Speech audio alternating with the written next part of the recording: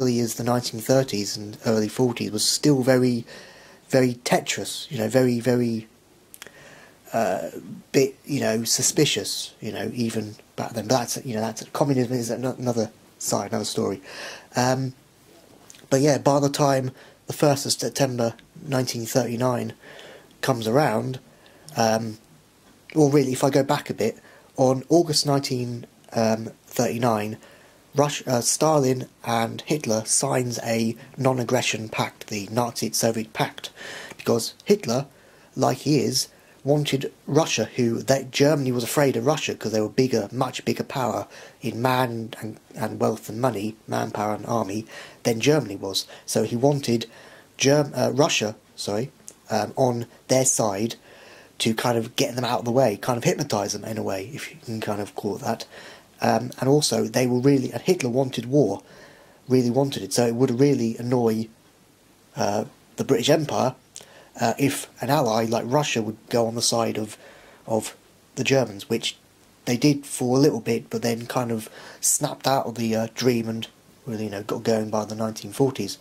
Um, so, 1st September 1939, Hitler invades Germany with using this brand new blitzkrieg uh, tactic or fast lightning warfare, which Germany had basically developed over the years. So, uh, do you want to talk about a bit of blitzkrieg, Toby?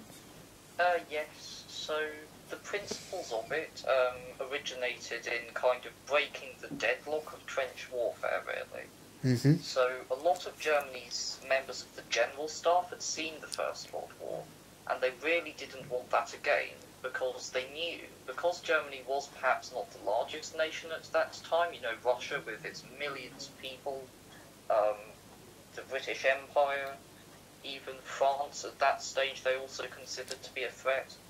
Mm-hmm. Um, they they really didn't want to just get bled white in a very stat you know static situation. Yeah. So they developed certain new tactics, like the encirclements you see in France and then later on in um, Russia, to just swallow up huge amounts of enemy troops using tanks as the spearhead rather than supporting infantry, then let uh, the infantry mop up the remains.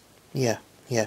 It's kind of a modern version, if you can call, of the German um, stormtroopers from the First World War. Very fast, very lightning, very quick shock tactics, uh, which Germany pride themselves in. Because even you know, I would say, and even you would say, Toby, they're very good. you know, it's better than what we can do.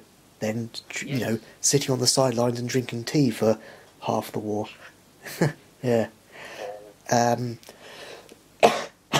and um, you know, so basically by the, by the fourth, well, we 3rd of September, by the, by the 4th of September 39, Britain declared war with Germany. Britain knows what Germany is like, um, but then doesn't, in a way, if you think about it, if we, you know, um, really, if you talk about um, in May, terms of May 1940, 10th of May 1940, uh, Hitler, in, with his millions of Germans, invades an allied nation, which is um, France. Again, blitzkrieg tactics, fantastically well. The British Expeditionary Force, who were stationed in France and Belgium uh, from from a year earlier, basically, not really, well, less than a year, September 39, they all rushed, flocked to France to await the German invasion after, just after Poland, which never happened, of course, uh, you know, a couple months later. Uh, in 1940, a lot of those British troops and French troops and Belgian troops, of course, was unaware of the German tactic of blitzkrieg. They knew it was, you know, powerful, but they didn't know how shocking it was. So a lot of the British troops and French troops basically got evacuated, got bottlenecked into Dunkirk, Calais, and the part of Calais that was all cut off. Dunkirk was the last bit, and that to evacuate. Um, and then, yeah, do you want to uh, cover a bit more? Yes, Toby? so in kind of in-depth breakdown of um, how that campaign really panned out, good breakdown by Tim as well, Mm-hmm. is um, the Germans sort of attacked um, the Netherlands and other countries, and they lured the French and the British forward into those countries more or less. But at the same time, they attacked through the previously what would have been considered, you know, just really insurmountable obstacle Mm, of yeah. the Ardennes, which they then attacked again through in 1944.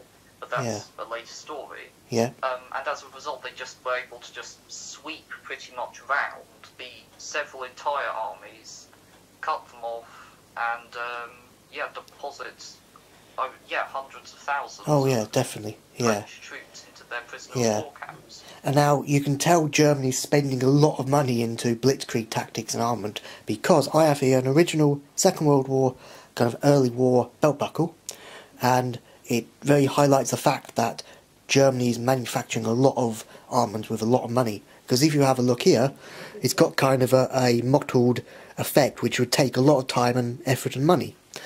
Um, which would be very clear to any military collector and historian um, what was going to happen with these belt buckles by the time 1943-44 and definitely 1945 comes along, um, which Toby's got a nice version of what I'm on about uh, in the uh, in his collection. So if we go then forward to June 1941, uh, 22nd of June 1941, Germany has basically gambled with his whole army on attacking the Soviet Union. That one threat that Hitler was really, and Germany alone, was um, was already annoyed, you know, already um, feared early in the war. So if you do want to talk a bit more of that, Toby? Uh, yes, that's good. Um, so, pretty much, um, Hitler always had a hatred for communism for whatever reason. Uh, he really did just have a hatred for a lot of stuff. Um, and as a result, even as early as maybe 39, even in fact through the 30s, he'd been planning to backstab Russia by um, invading them. Hmm. Now, a lot of people on the internet sometimes go, Russia was planning to invade. Oh no, They never really was. I mean, you can you can clearly tell that they weren't because the the front border guards, okay, they were all in their barracks by the time the Germans invaded and just got Hmm. absolutely obliterated. Yeah, You know, the the I mean, even as early as pretty much just after the operation started, the Germans and Russians had a trade pact where the Germans would send kind of um, tools for making things into Russia, and in turn, Russia would give back raw resources. Those resources were still going in trains to Germany in yeah as early as kind as late rather as um, the 22nd of June after the operation had pretty much started. yeah. Uh, and also that operation was very famously called Operation Barbarossa. Um, so then that you know was in the win- um, was in the summer month June was quite a warm time. Germany with a lot of you know uh, what's the word uh, kind of kind of shorts and t-shirt weather. That's what they were wearing Yeah. during the time. But if you skip to December 1942 when you have Germany's big attack on the main city of Stalingrad. Um, in December 1942, it was you know minus 20 or 30 degrees below freezing. It was absolutely cold. Germany just you know they couldn't cope. They came in with the winter with you know shorts on, and they were still wearing shorts on. No, not literally shorts, but you know what I mean. Kind of weather that um, basically was suited for summer climate. But when by the time December 42 comes along, you know the cold hit them and millions of Germans um, basically perished under the uh, the Russian winter. Roughly between 70 and 90 million Germans were perished by the winter of 1940, of December 1942 and the Battle of Stalingrad. So, um, for part one, or episode one, uh, of the rise of Nazi Germany at that time, um, I think that's it on this episode. So, uh, uh, I'll see you in the next episode. See yous. Bye.